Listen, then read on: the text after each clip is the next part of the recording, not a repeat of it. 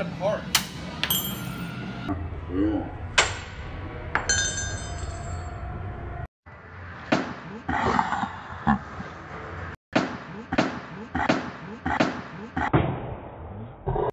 What is up guys? I hope you all enjoyed that video. So the reason that video was so random was because I had multiple ideas for the video that day, which both of them ended up not working out completely. So the first idea I had was to make a bunch of crazy trick shots with that quarter and that mug, and of course that ended up not being the case. I kept having to ring up people in between every single try, and let's just say that got really, really annoying and tedious.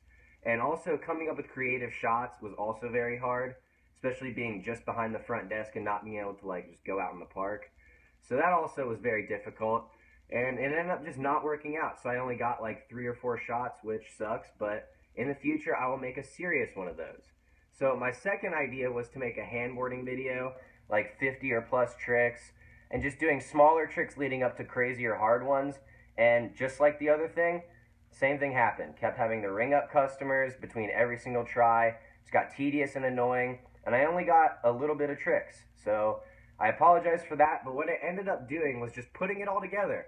It ended up being not that great of a video, but it was an alright video. I still thought it was fun, and I had fun doing both things until it got annoying.